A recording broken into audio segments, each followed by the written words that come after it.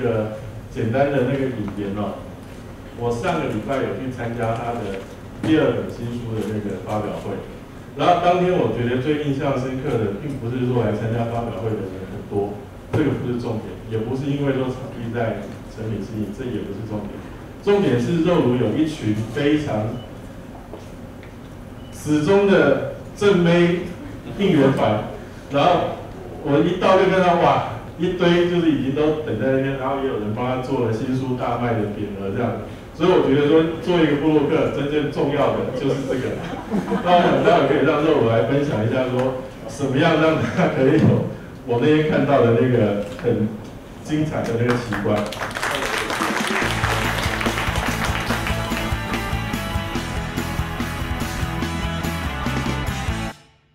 大家好，我 讲第一场就是来蛮紧张的，对。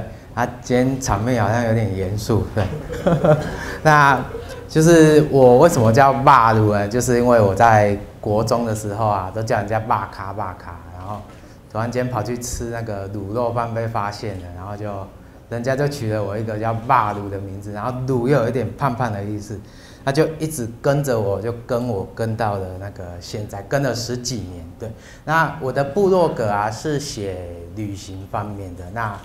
通常，通常我们出去旅行的时候啊，遇到人啊，通常都是交换名片啊。那我比较不一样，我是交换我的那个明信片。那我的皮箱里面啊，装的是我旅行必备的东西。那我们去旅行必备什么呢？就是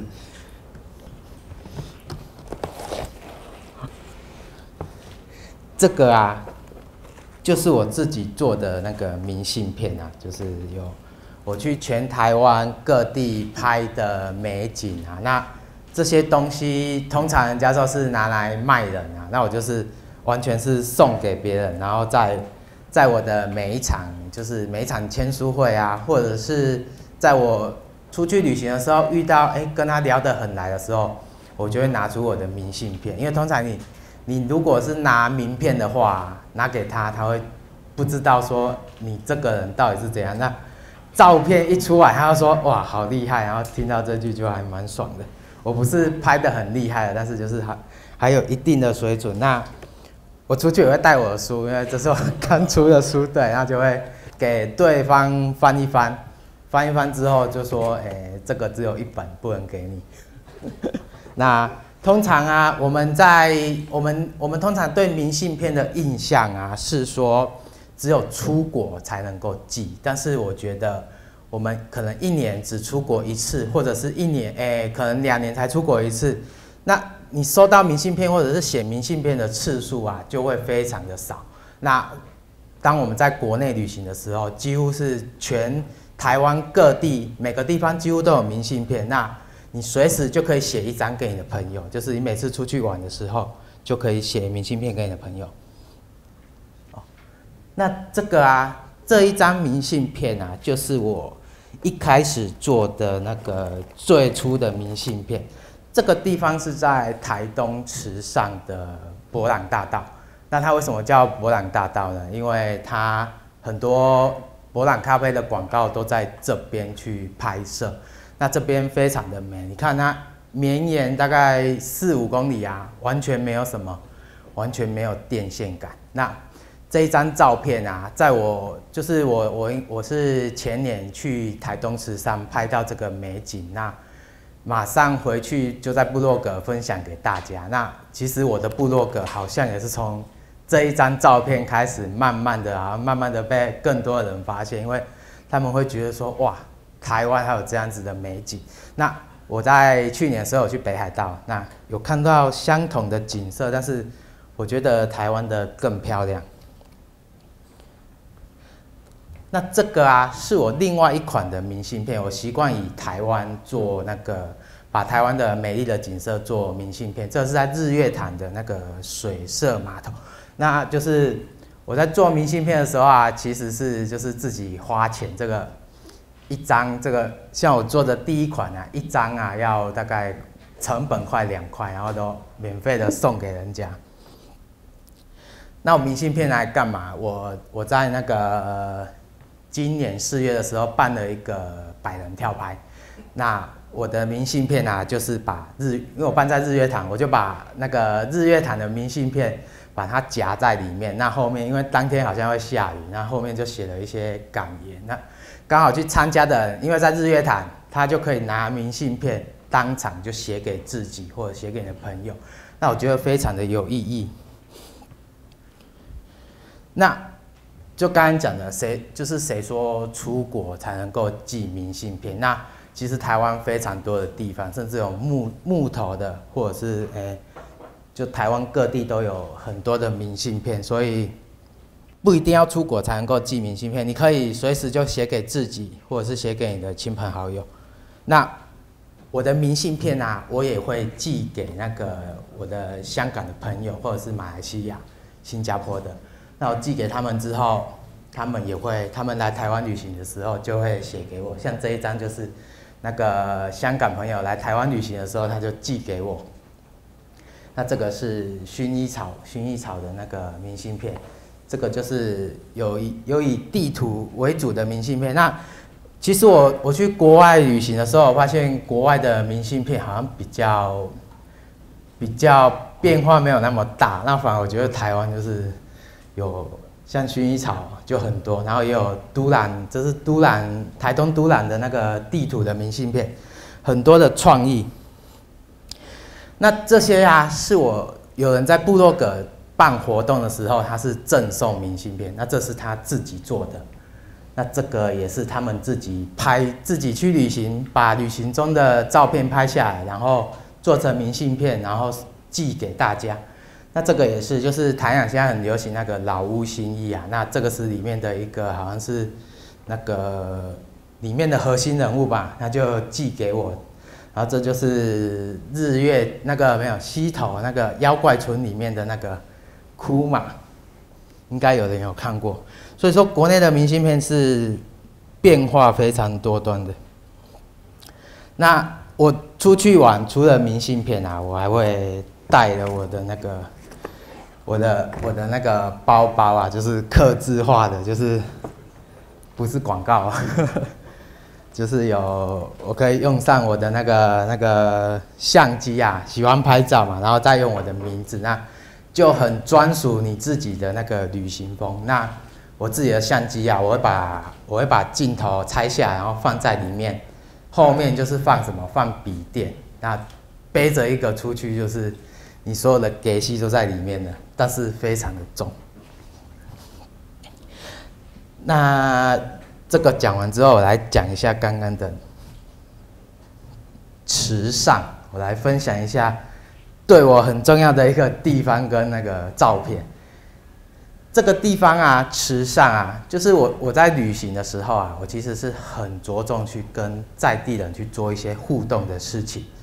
那这个地方我们通常去慈善啊，我们就只知道说慈善便当。那有没有人可以跟我讲一下慈善除了便当还有什么东西？有没有要羊羹？池上羊羹好像不是。池上，我是说吃的哦。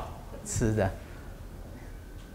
羊羹应该是在玉里，对，池上啊，除了便当以外啊，它还有那个吃那个豆皮，它是用手工，就是用柴火遵循古法去做的豆皮，那大部分人都不知道，那这些东西只有你去跟在地人去做一些聊天啊，你才能够去挖出一些。很好吃的小吃。那池上除了豆皮之外啊，还有一个很好吃的东西叫池上包子。应该大部分人都不知道，应该只知道什么卑南包子啊，还是东河包子啊。池上还有包子，非常的好吃。那这个就是这样。那这边啊，非常的漂亮，它非常的笔直啊。这边又被当地人称为天堂之路啊。因为它美得像天堂，那完全没有车子会经过。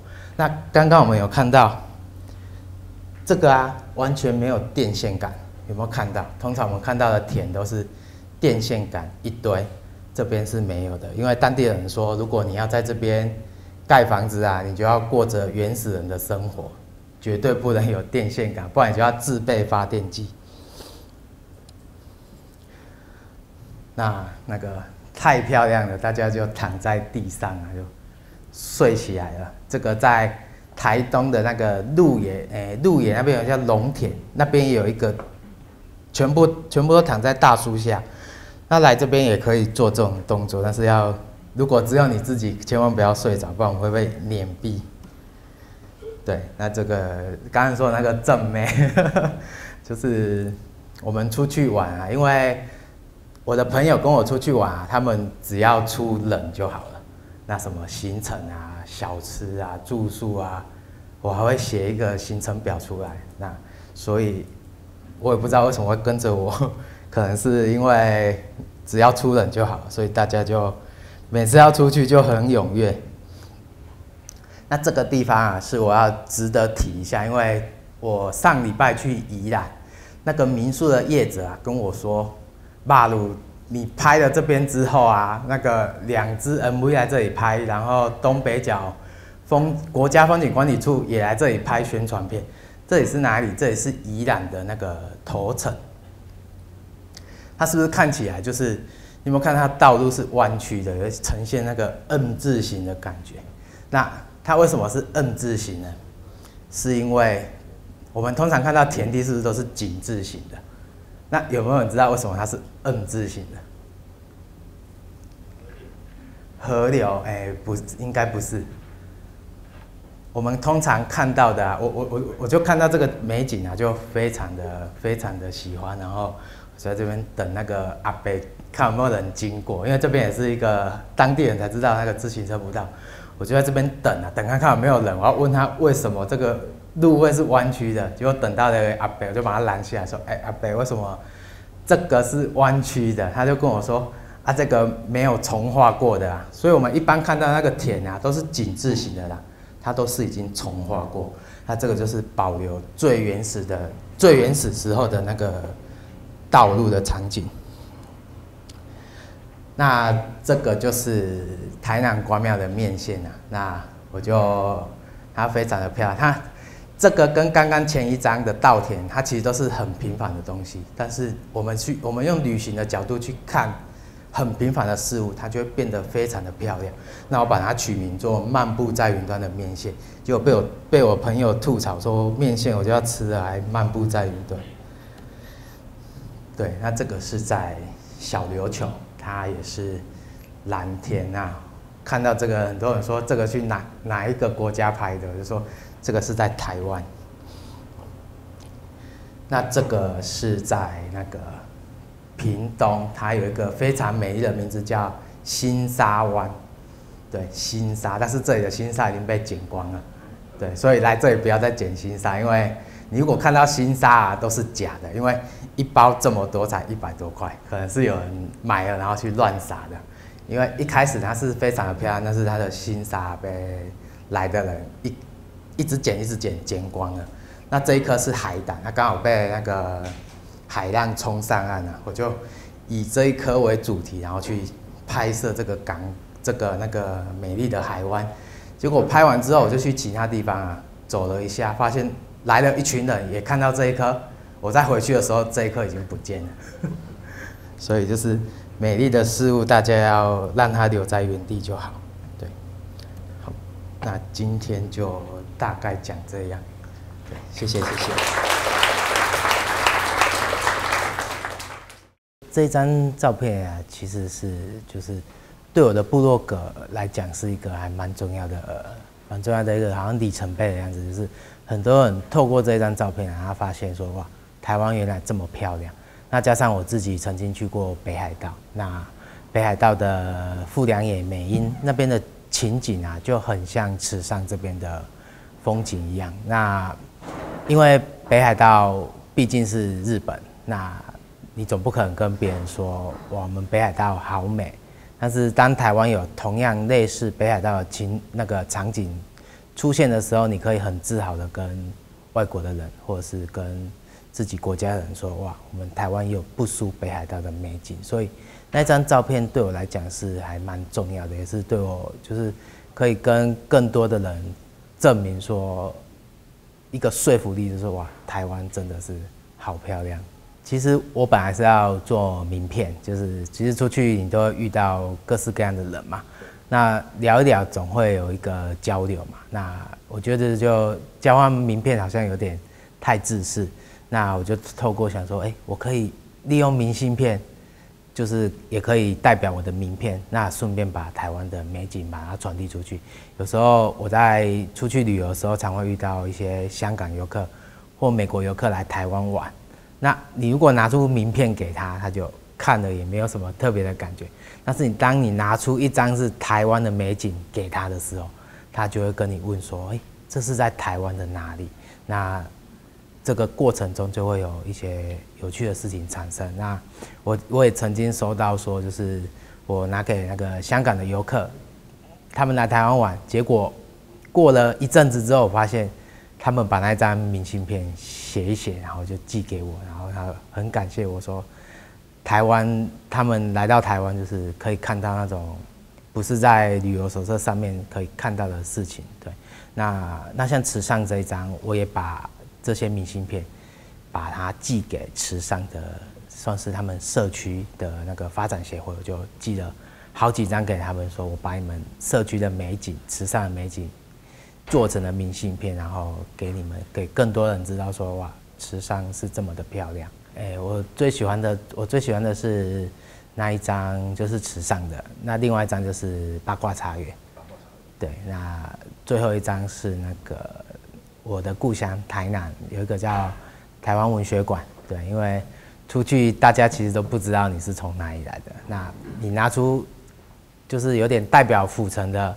一张明信片的时候，你就可以跟他说：“这是我们府城。”那他因为它是我拍的那个台湾文学馆，它是一栋很优美的建筑物，它是有点巴洛克式的古迹。对，那看到之后，大家都会说：“哇，府城又不是很古色古香吗？怎么有这么异国风味的美景？”像我的背包是一个相机，那又又有我的那个英文的名字。那其实大部分看到之后，就会觉得。这个人应该是在旅行，那我就很想传递说那种我是正在旅行的路上的那种氛围。那会做这个，就是因为它刚好可以容纳我的我的 notebook，然后我的相机，说甚至我所有旅行中应该携带的事物都是在里面。那我觉得是，我就背着一个旅行旅行那个旅行背包，我就可以去全台湾各地各地旅行。